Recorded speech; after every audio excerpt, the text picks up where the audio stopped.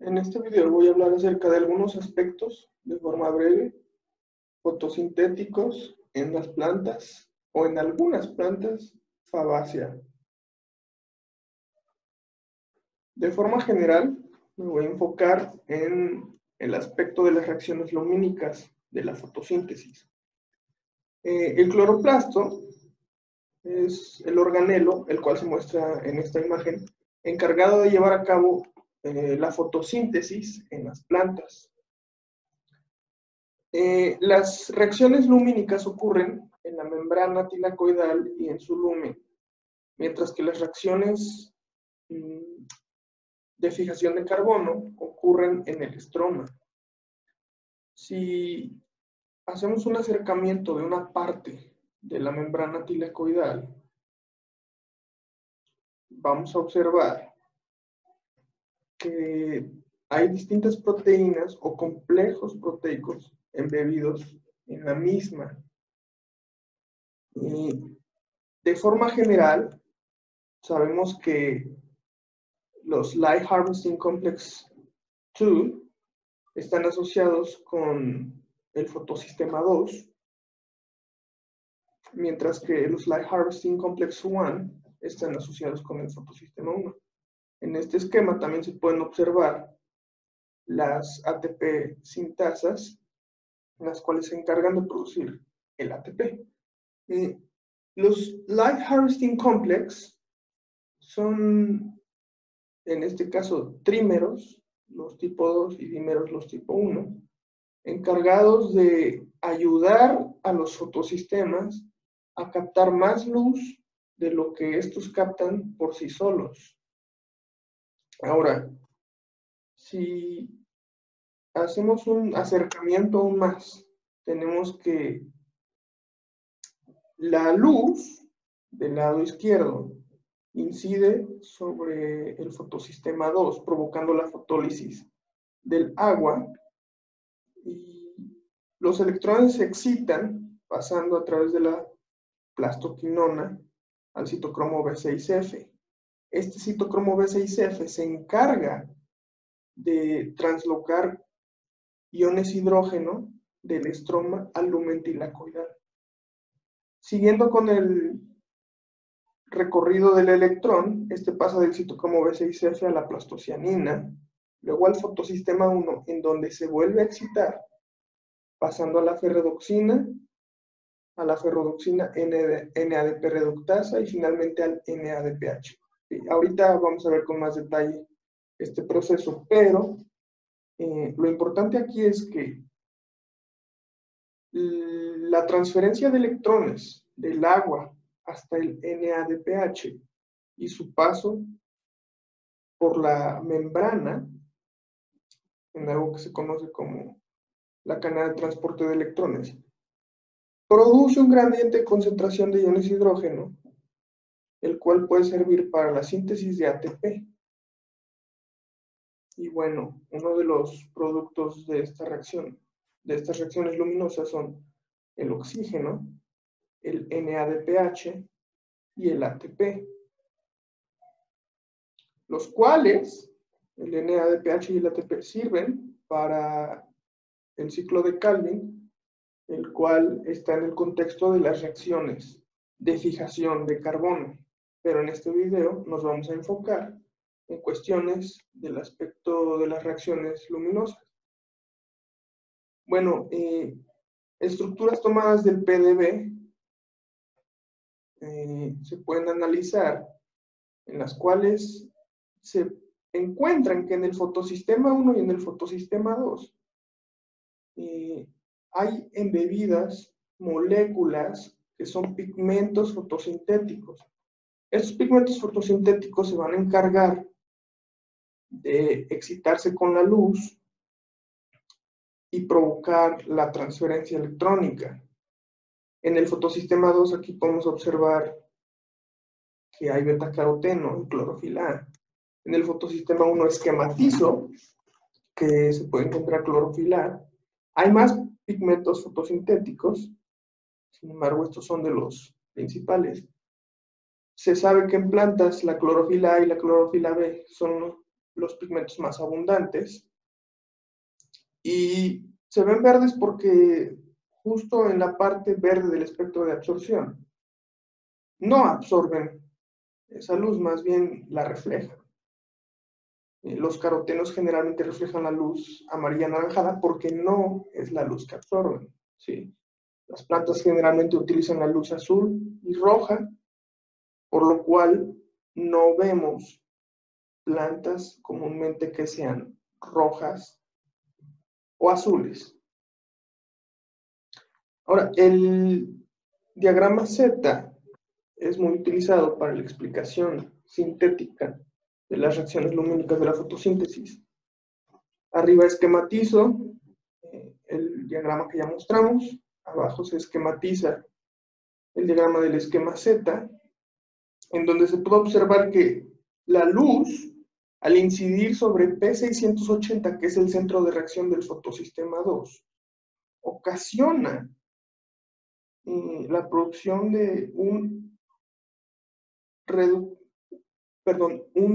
débil reductor. Eh, las sustancias reductoras se caracterizan por tener mayor potencial de transferencia electrónica a otras sustancias, mientras que las sustancias oxidantes se caracterizan por tener mayor potencial para aceptar electrones. Por tanto, la luz, al reducir a P680, este tiene más capacidad de transferir electrones, eh, lo cual se esquematiza en, el, en la línea azul de en medio, que dice Electron Transport Chain. Ahí este, en ese intermedio entre P680 asterisco y P700 está la plastoquinona y el citocromo B6F. El electrón, sin embargo, va perdiendo energía conforme se va transportando hacia el fotosistema 1, en donde vuelve a excitarse y pasa a la ferrodoxina y a la ferrodoxina NADP reductasa, en donde puede servir para transformar NADP más a NADPH. Bueno, hay dos tipos generalmente de flujo electrónico. Uno es lineal, el cual se puede observar en esta pequeña animación.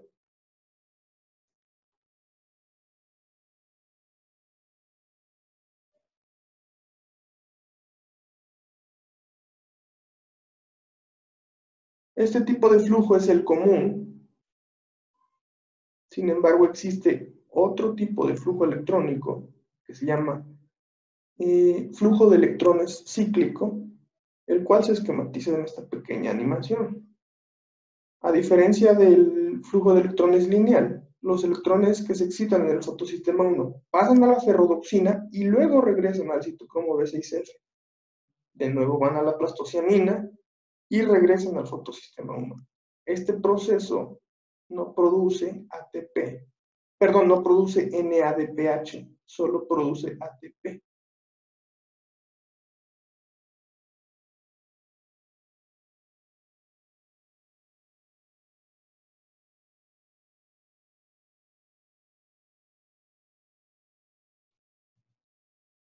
En esta imagen podemos ver de forma esquemática y de forma general el recorrido que siguen los electrones en un flujo lineal, que es el común, y en un flujo cíclico.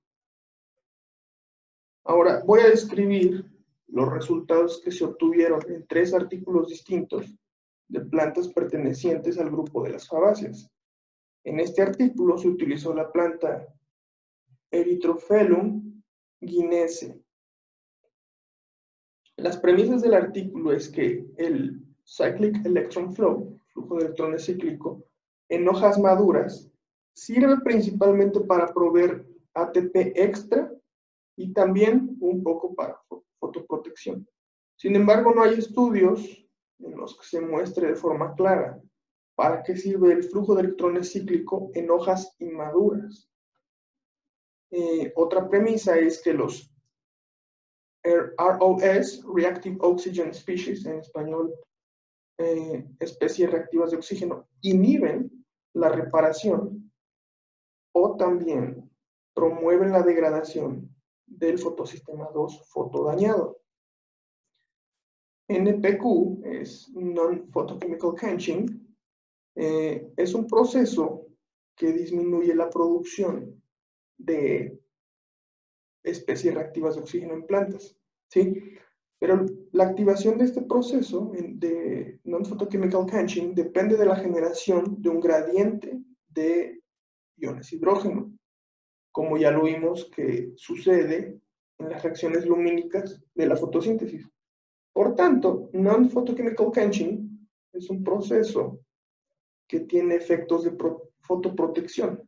Por tanto, partiendo de la premisa de que no se conoce muy bien la función del el cyclic electron flow en hojas inmaduras, los autores hipotetizan que el principal, la principal función del cyclic electron flow en hojas inmaduras es proteger al fotosistema 2 y al fotosistema 1 contra eh, fotodaño. Bueno, los resultados que obtuvieron es que en la gráfica de la izquierda se puede observar que a pesar de que en las hojas inmaduras se observa menor nivel de cyclic electron flow, en la gráfica de la derecha se observa que las hojas inmaduras tienen mayor capacidad de non-photochemical quenching comparadas con las hojas maduras. ¿Sí? Por unidad de cyclic electron flow, las hojas inmaduras presentan más non-photochemical quenching. Por tanto, en hojas inmaduras, el cyclic electron flow funciona mayoritariamente para fotoprotección, mientras que en las hojas maduras, la mayoría del cyclic electron flow funciona para la síntesis de ATP. Y bueno, otro artículo es este, en el cual utilizaron la planta Cajanus cajan, perteneciente también al grupo de las fabáceas. Las premisas, o la premisa es que el aumento en la temperatura continua limita el crecimiento de las plantas y la maquinaria fotosintética es afectada de forma, de forma adversa por por el continuo crecimiento de la temperatura. Eh, el objetivo del artículo es analizar eh, el transporte electrónico fotosintético a altas temperaturas y también analizar el contenido de pigmentos también con elevadas temperaturas. Bueno, aquí se muestran uno de los resultados obtenidos por el artículo. Eh, antes que nada, hay que recalcar que la I significa en condiciones de luz, D en condiciones de oscuridad y HT es en condiciones de luz pero con elevada temperatura. DHT es oscuridad con elevada temperatura también. De forma general se observa que en las plantas sometidas a luz y oscuridad con temperatura normal presentan un mayor contenido de clorofilas y carotenos que las plantas sometidas a las mismas condiciones, pero con elevadas temperaturas. Por tanto, se observa que la elevada temperatura causa un decremento dramático en el contenido de pigmentos fotosintéticos. El tercer artículo y el último es este, la planta que utilizaron es Vigna radiata, también perteneciente al grupo de las fabáceas. Las premisas son que el estrés por sal induce la producción de eh, especies reactivas de oxígeno. ¿sí? Las especies reactivas de oxígeno inhiben la reparación y promueven la degradación de pigmentos fotosintéticos. También una premisa del artículo anterior.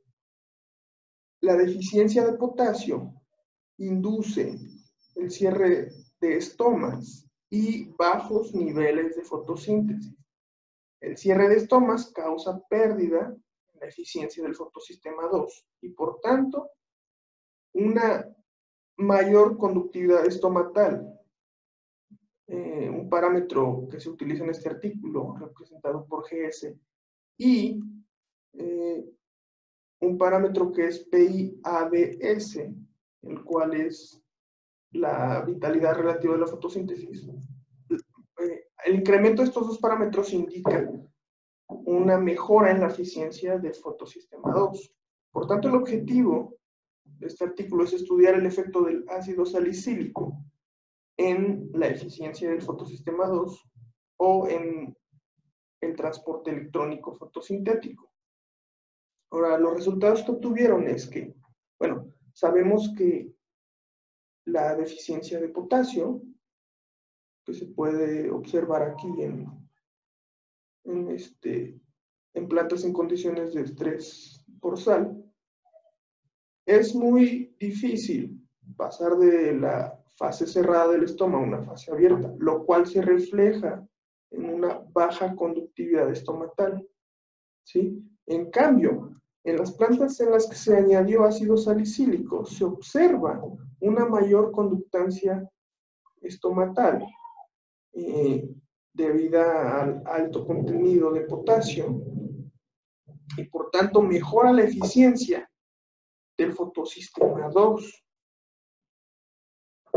Otro resultado es el segundo parámetro, que es la vitalidad relativa fotosintética, es que en plantas de estrés por sal se observa una menor, eh, un menor valor de este parámetro, lo cual indica que la adición de ácido salicílico mejoró tanto la eficiencia del fotosistema 2 eh, por estos dos parámetros.